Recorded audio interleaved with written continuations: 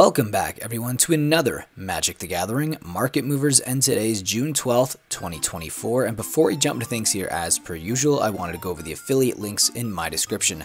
I do have a Dragon Shield discount code as well as a TCG Player affiliate link, and any purchase that you make using those links, I get a small bonus from it, and it really helps support the channel. Now, here are my lovely Patreon supporters. You guys are the reason why I can make content like this on a daily basis, so thank you all very much. With that being said, let's get moving.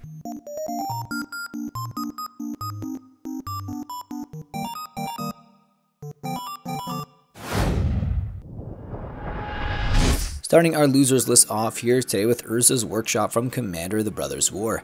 This land is down 12.45% from $20.73 to $18.15 for its market price, and its average price is $19.20. Conjurer's Closet from Avacyn Restored. This artifact is down 12.50% from $11.76 to $10.29 for its market price, and its average price is $10.16. Bitterblossom from Ultimate Masters. This mythic is down 12.70% from $15.83 to $13.82 for its market price, and its average price is $18. Blood Crypt, and this is the retro frame version of the Shockland from Ravnica Remastered, down 12.71% from $17.54 to $15.31 for its market price, and its average price is $17.86. Sword of Wealth and Power, and this is the extended out version of this card from Outlaws of Thunder Junction, the big score. It's down 12.85% from $36.57 to $31.87 for its market price, and its average price is $37.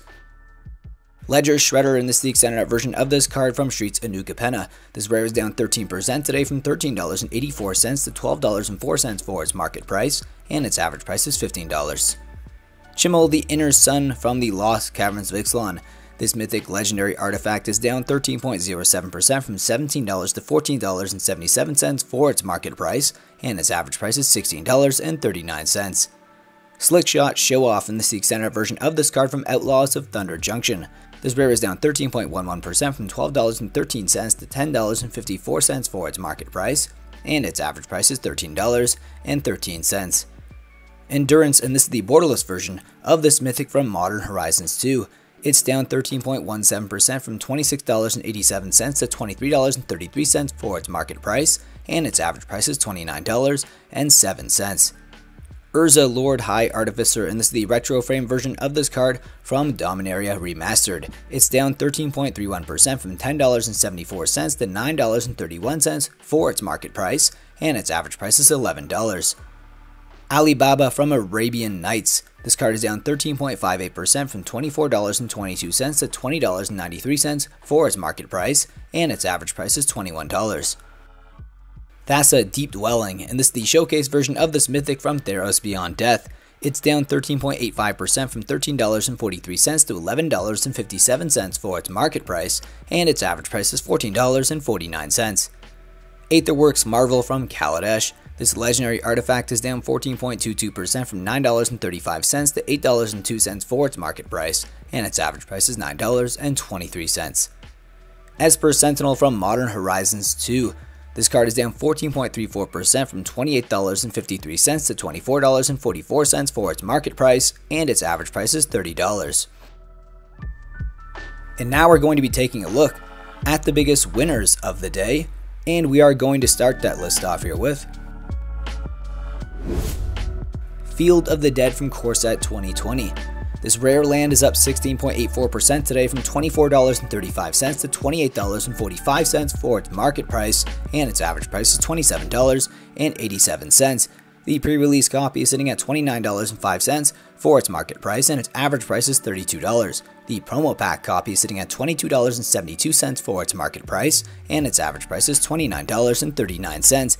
And the Secret Lair series copy Cabin of the Dead from the Evil Dead Secret Lair is currently sitting at $49.22 for its market price, and its average price is $60. And this card is seeing some legacy play in Lands decks, however it sees most of its play in the Commander format in commanders like the Necrobloom and Wilhelt the Rotcleaver. And the next winner on our list is Roil Elemental from Zendikar. This rare is up 18.60% today from $7.74 to $9.18 for its market price, and its average price is $7.71. and the Secret Lair Series copy is sitting at $15.25 for its market price, and its average price is $16. And this card is seeing a ton of commander play in commanders like Omnath, Locus of Creation, as well as Nadu Winged Wisdom. The next winner here is Delighted Halfling, and this is the extended art version of this rare from Lord of the Rings. It's up 21.13% from $9.37 to $11.35 for its market price, and its average price is $10.82. In the pre-release copy sitting at $12.76 for its market price, and its average price is $14.85. And the borderless pre-release copy sitting at $9.95 for its market price, and its average price is $10.93.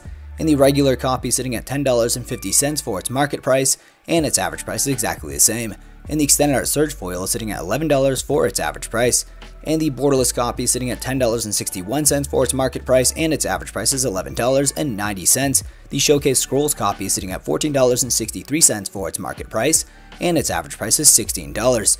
And this card is seeing a lot of modern play in decks like 4 to 5 color Omnath, as well as Yawgmoth, however also sees Commander play in commanders like Animar Soul of Elements and Frodo Adventurous Hobbit who also pairs with Sam Loyal Attendant. And the next winner on our list today is Silent Arbiter from Commander Masters. This rare artifact creature is currently up 22.11% from $5.79 to $7.07 for its market price, and its average price is $6.97. In the Commander 2020 copy, sitting at $6.09 for its market price, and its average price is $6.17. and the Conspiracy copy, is sitting at $5.08 for its market price, and its average price is $5.41 and the original copy from Fifth Dawn is sitting at $4.52 for its market price, and its average price is $5.97. Now this card is seeing most of its play in the Commander format in commanders like Commodore Guff, as well as Obeka Splitter of Seconds from Outlaws of Thunder Junction. Next up here is Aphetto Alchemist from Onslaught. This uncommon is up 22.77% from $6.94 to $8.52 for its market price, and its average price is $8.73 and this card as well is seeing most of its play in the Commander format and commanders like Arcanis the Omnipotent, Garth One Eye, but this card sees most of its play in the Commander Nadu Winged Wisdom from Modern Horizons 3. And the next winner on our list today is Soul Spike from Cold Snap. This rare is up 27.98% from $4.61 to $5.90 for its market price, and its average price is $35. Now it's spiking because people are realizing that it pairs perfectly with Necrodominance in a nice little combo. While this card has a ton of other printings, it was also reprinted in Modern Horizons 3, probably bringing the attention back to Soul Spike. This card is also being played right now in the modern format in Rakdos burn decks, however also sees a bit of commander play in commanders like Yuriko the Tiger Shadow and Gisa the Hellraiser. And the next winner on our list is Higure, the Still Wind from Betrayers of Kamigawa. This rare is up 34.90% from $8.74 to $11.79 for its market price, and its average price is $8.74. And the Planechase 2012 copy is sitting at $6.78 for its market price, and its average price is $7.23 and the Planechase Anthology reprint is sitting at $6.30 for its market price, and its average price is $7.76. The Halo Foil Secret Lair series copy is sitting at $19.10 for its market price, and its average price is $19.49.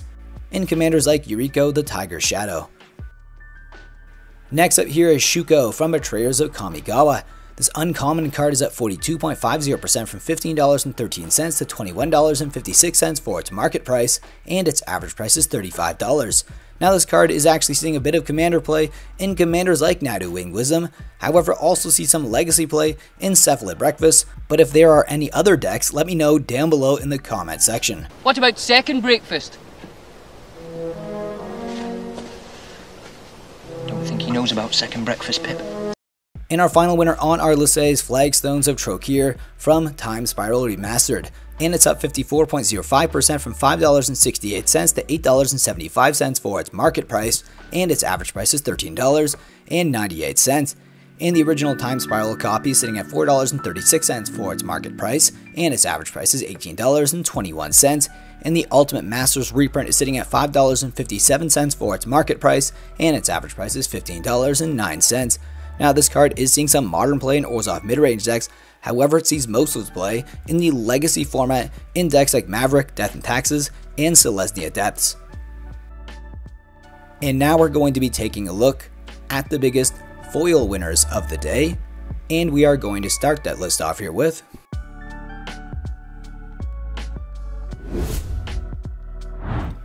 Unquestioned Authority from Judgment. This old frame foil is up 13.67% from $17.12 to $19.46 for its foil market price, and its average price is $21. Flare of Loyalties, and this is the extended art foil from Commander Masters, up 22% today from $14.19 to $17.31 for its foil market price, and its average price is $39.90. Soul Spike from Cold Snap, this foil is up 22.02% from $19.98 to $24.38 for its foil market price, and its average price is $40. Herald of Kozilek from Battle for Zendikar. This foil is up 24.32% from $5.55 to $6.90 for its foil market price, and its average price is $20.21. Aether Sting from Urza's Destiny. This old frame foil is up 26.10% from $20.84 to $26.28 for its foil market price, and its average price is $20.88. Insist from Torment. Another old frame foil up 37.24% from $5.29 to $7.26 for its foil market price, and its average price is $8. Secluded Step, another old frame foil, this time from Onslaught, up 44.19% from $8.26 to $11.91 for its foil market price, and its average price is $7.20. Larceny from Mercadian Masques, another old frame foil up 49.46% from $4.61 to $6.89 for its foil market price, and its average price is $6.51. Next up is an Eventide foil Light from Within, up 59.42% from $7.59 to $12.10 for its foil market price, and its average price is $19.98. Ancestors Prophet from Onslaught, another old frame foil up 107.89% from $1.90 to $3.95 for its foil market price, and its average price is $4.20.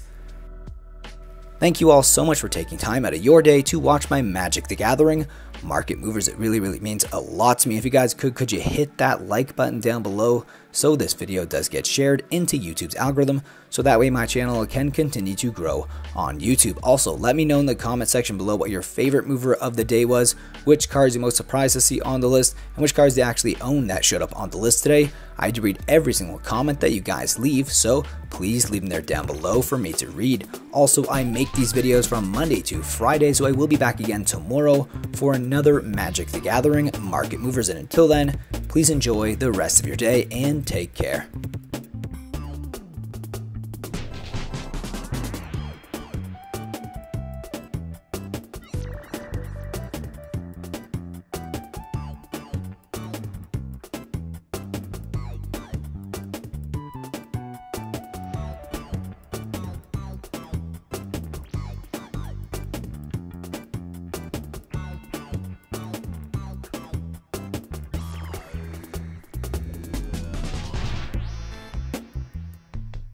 Being a patron will help me produce more market movers and add to the funds that I will use for my random buys and also to my coffee fund because I drink a lot of coffee for these videos. And here you can see a link below in the description that will give you all the tiers and what you get in each tier. So I hope you guys click and think about joining. And with that, I'll see you next video. Think about uh, supporting the channel in that way. If not, subscribe, like, leave a comment, and I will see you again in the next video.